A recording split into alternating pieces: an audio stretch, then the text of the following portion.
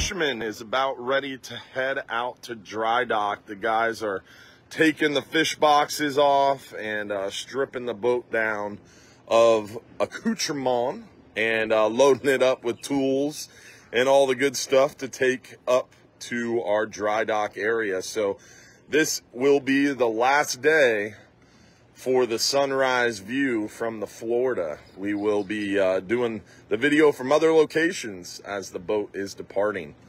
But we are looking forward to the boat coming back, doing a lot of work on the Florida to the engines, the engine room, bathrooms, showers, live wells, lots of good stuff going on. Gonna refresh this thing and hopefully come back ready to rock and roll for a great fall push for those big gags, scamp, mangrove snapper, and much, much more. The boat should be back around uh, mid to late October and uh, be back into service there probably closer to the last week of October. Stay tuned for more updates there.